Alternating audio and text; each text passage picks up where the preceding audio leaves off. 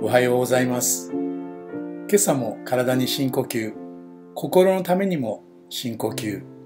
良い一日のスタートとなりますように、恵みの深呼吸のお時間です。先日、柿の木に泊まって、まあ、柔らかそうな柿をつついて食べている目白を写真撮りました。えーその時は距離もあったし、あまり気づかなかったんですけれども、パソコン上でその撮った写真を開いてチェックしてみるとですね、その目白の目が実に鋭いんですよね。ちょっとびっくりしました。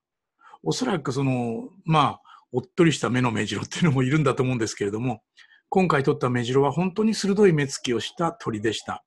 まあ、そういう鋭さとか機敏さを失ってしまうと生きる力がそがれてしまうんだろうなと思うんですよね。ですから、うん、飼いならされた目白というね、えー鳥の目は、やや優しくなってるかもしれないなと思ったんですよね。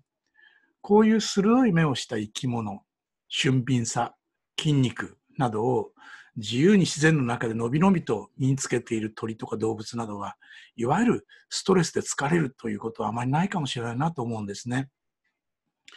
あの、ベトナムのえ仏教僧の一人にテクナット・ハーンという方がおられます。マインドフルネスという言葉を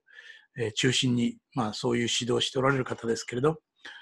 えー彼が書いた本の中に、そのケージでか、ケージの中に飼われている鶏は、その狭い狭い世界の中でストレスだらけになっているのだと。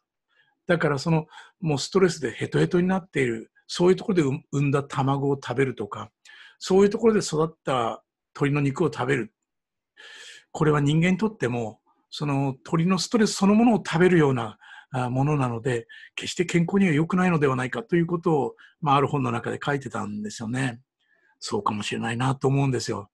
まあ、できることなら、やつれるほどのストレスを味わうことなく生きていきたいなと思うんですよね。野生美いっぱいの鳥たちを見て、そう思った次第です。どうぞ元気でいてください。それじゃあまた。